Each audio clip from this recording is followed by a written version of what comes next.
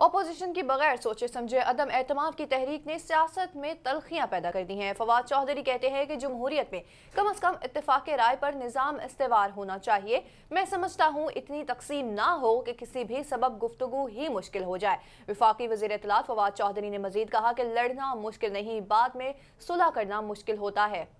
ये कहा गया है वफाकी वज़ीर इतलात फवाद चौधरी की जानब से अपने ट्वीट में आपको बता रहे हैं कि अपोजिशन की बगैर सोचे समझे अतम एतमाद की तहरीक ने सियासत में तलखियाँ पैदा कर दी हैं।